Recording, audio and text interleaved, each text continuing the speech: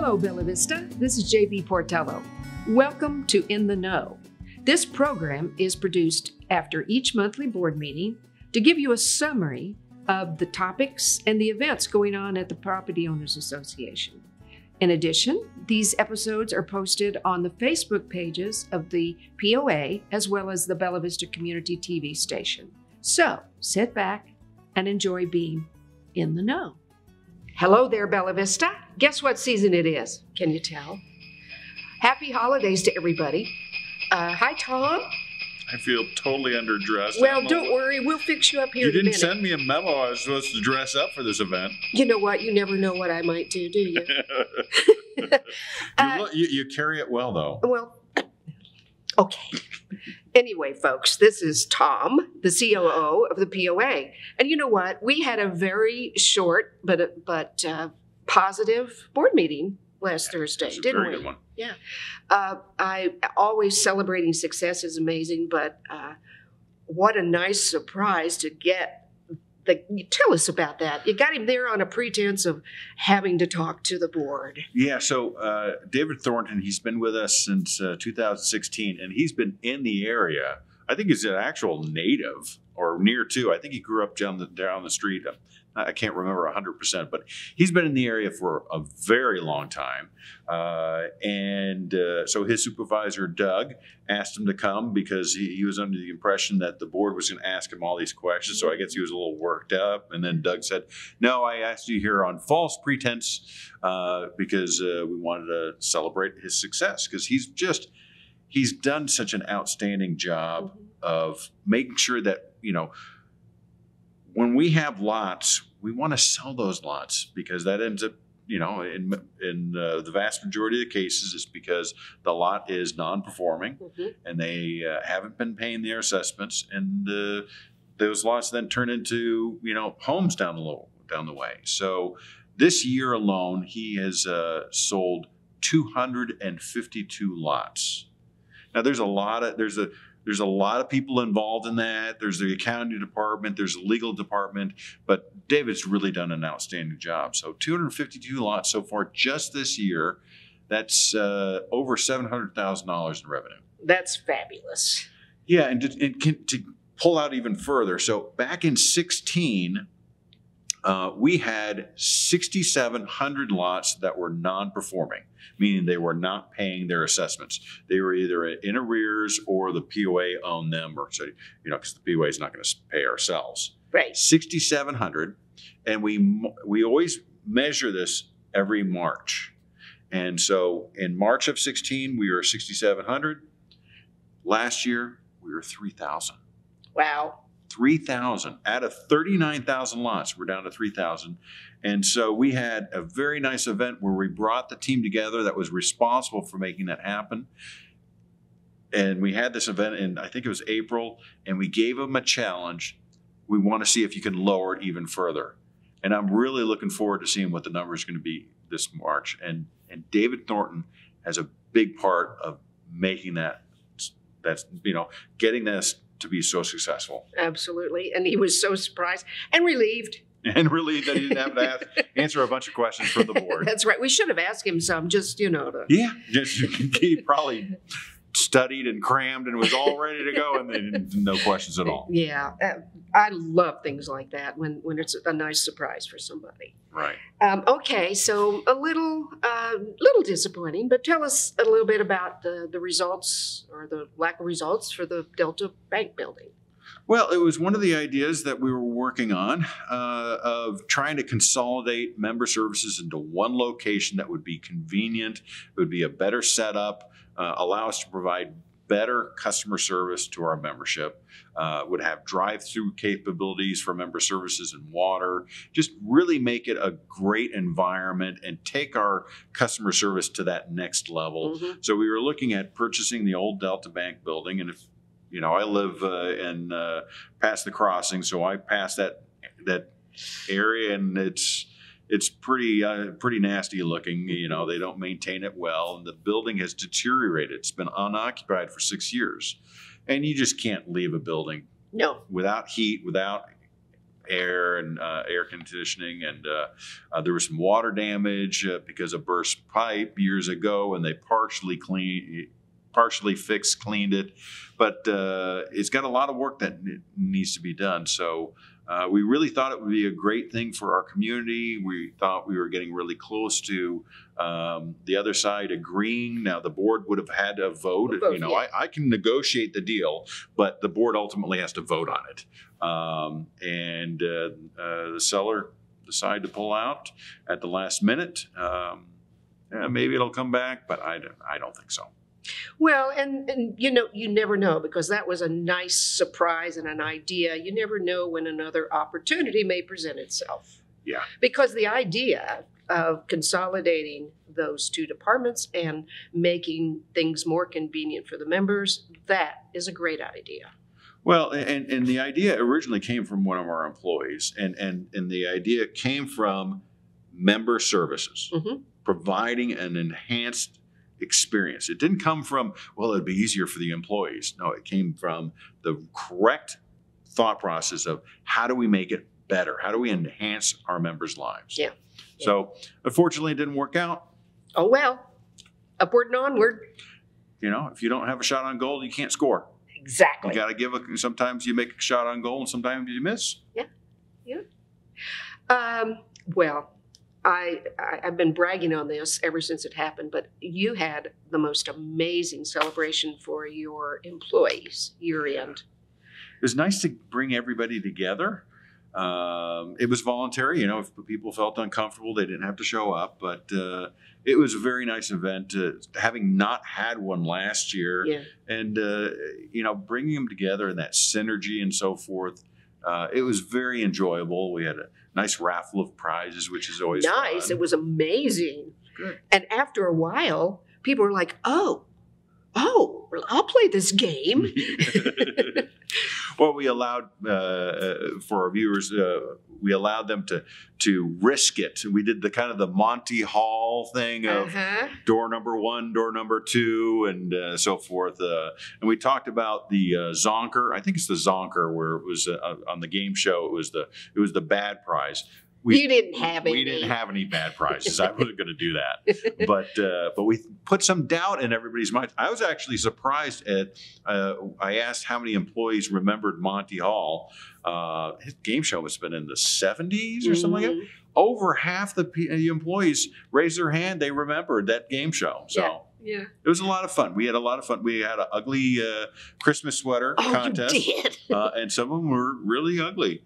They were so. Uh, the guy that won was just adorable, though. Oh, when he walked across the stage with his, uh, it was a lot of fun. It really was. And another picture I wish somebody had captured because it was just wonderful. A lot of the the maintenance guys and people like that won the big prizes. And it was wonderful because you saw a couple of them walking out of there as a team because they had to carrying a 70-inch TV. I really wanted to capture that. I should have because it was brilliant. It was a lot of fun because the, so the one employee they, they had won uh, a small gift and and uh, you know would you like to risk and go for door number two and he went for it and it was a huge TV. Exactly. Um, uh, uh, Corinne, uh, the, our, our corporate secretary, she went out on uh, um, Black Friday and bought all this stuff. Yeah. And, you know, Yeah. got some really good deals, uh, which allowed us to stretch our dollars further. And the guy that won the Apple Watch immediately walked over and handed it to his wife. I guess maybe that got him off the hook for Christmas present. yeah, I don't think I know that employee. I don't think he's off the hook yet. but anyway, it was it was abs- absolutely brilliant, really was. Um, another thing that we've been working on together, Mhm. uh, the POA and the city, and and even Cooper, Mhm. especially Cooper, uh, we've been trying to help educate the public about our three-legged stool. Uh, governing body here in, Right. in Bella Vista, and you and the mayor had a, a new employee or a new uh, member orientation on Saturday as Yeah. well, Mhm. and uh, those are always helpful. But we we hope the the TV station is doing those as a as a service to the community, and we're hoping that that helps you and our members. I believe, if I'm not mistaken, we're going to give you some information on this Mhm. uh, program on how you can watch those two. One more is coming. Mhm. I don't know who it's going to be yet, but it'll be good, whatever it is. Well, it's just it's it's great to be able to educate the community uh, because we are different, and, and different doesn't mean bad. It No. just means different. And uh, so we have a three-legged stool in our governance. We have the city, the POA, and the ACC. And the, the city takes care of the the fire, the police, the roads, the building permits, and those types of things. Um, uh, the POA, I, I like to say, the POA is like Parks and Rec on steroids with Mhm. lakes and golf courses and some restaurants and tennis and pickleball and everything else that we have, uh, and water. Uh, and then the ACC is the Architect- Architectural Control Committee, and they're making sure that the uh, the aesthetics of our community look good. So that's our three-legged stool, and if Mhm. one of those legs breaks, the stool doesn't stand. Uh, but unfortunately, that complexity makes it challenging for some of our residents, and and the the best example I can give is um, our member services uh, team receives approximately 40,000 calls per year, half of which have nothing to do with the POA. They have to do with the city, they have to do with the ACC, but we all work together to get that member to the right person. Mhm. Um, because, and the city does the exact same thing. Oh, that's a POA issue. They send them our way. So we try and help the membership out as much as possible, even though it can be complicated at times. You know, there are a lot of opportunities for folks to to know and learn about the uh, three-legged stool. But one of the things I have to brag about that the POA publishes, it goes out in all the water bills, as you know, called Connections. And I really wish I'd have brought one today because Right. everybody would recognize it. Uh, it. It's a great piece of information that goes out every month.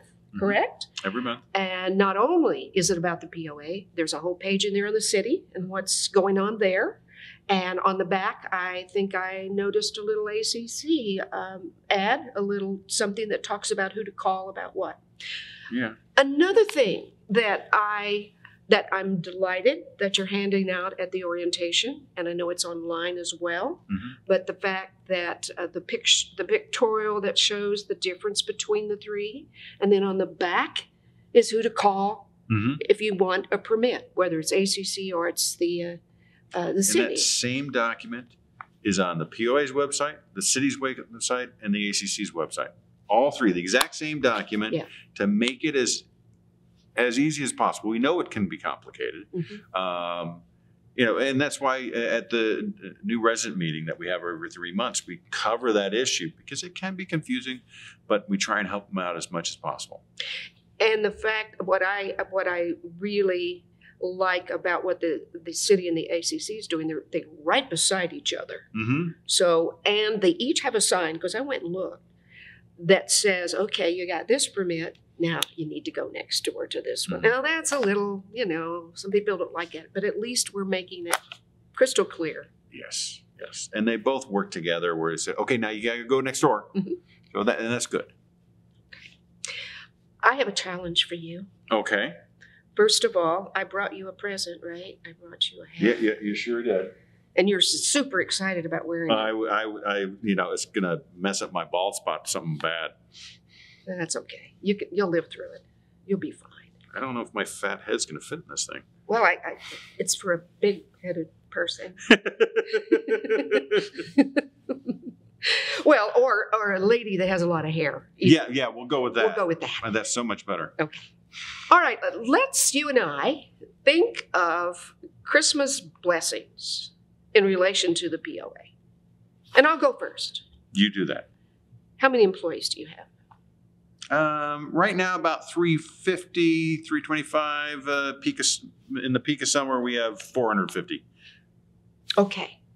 I think 450 at its max employees is a super blessing. What do you think?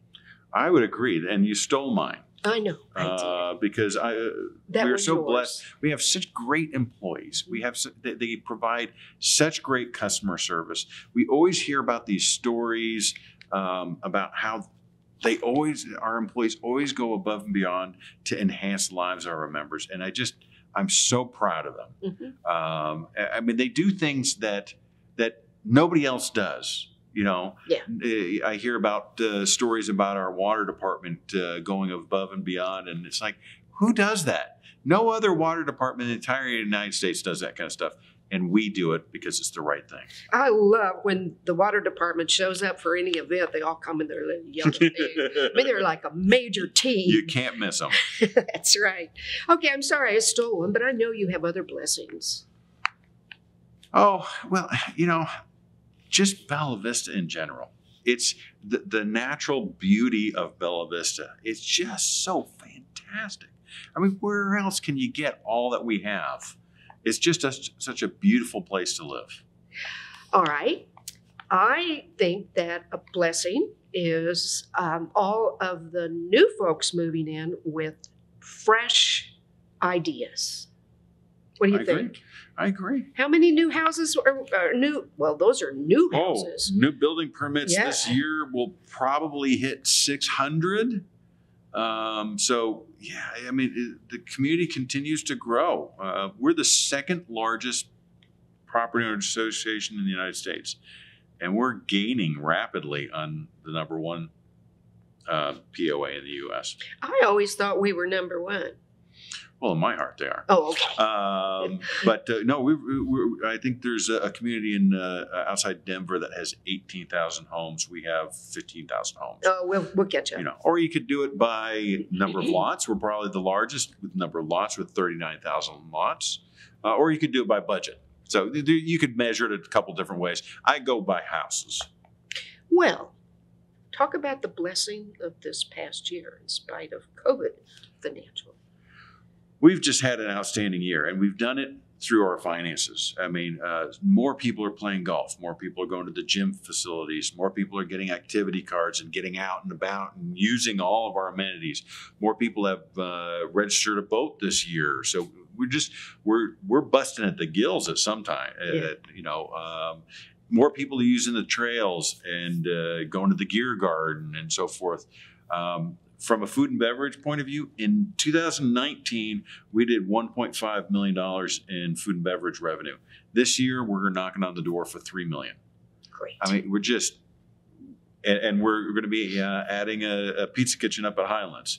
Um, so that means that we're going to go and expand that even further. So it's just uh, we've had an outstanding year in spite of ever, of all the challenges, and, and that's another reason I'm thankful to our our employees because they've met the challenge every single time. They've gotten creative and come up with different ways of solving problems. There were, we have an outstanding crew. You do. Well, I have one more. Okay. I, and you're going to have to help me with the number here, am totally grateful for the number of responses we got from the members. hmm What, 13,000 or close? Oh, I think it was twelve thousand two hundred, but I could be wrong. But uh, I'll go with thirteen thousand. It's close enough. We'll round up. Yeah, and you know what? We always ask for uh, members' input. I think you got some. We got and in inside that we have four thousand individual comments, which is a blessing and a little bit of a curse because I got to read them all. that's, that's a lot to read. But we love the information. Give us the information because the community can can be shaped in a number of different ways, and and it's important that we get that input. And it's it's really great that we had so many people participate in that, and also spend the time to come out uh, for the uh, focus groups. Yes. We had a lot of people do those. And so the report, uh, the survey report is going to come out in January. Um, I got about half written so far. So Okay. Well, uh, there's a lot more, I'm sure, Yeah. but that's kind of the highlights of why we feel blessed. can I take off this hat now? No, not until the camera goes away. Okay. You have All to wave goodbye. All right. All right. Bye, Bella Vista. We'll see you in January. Merry Christmas.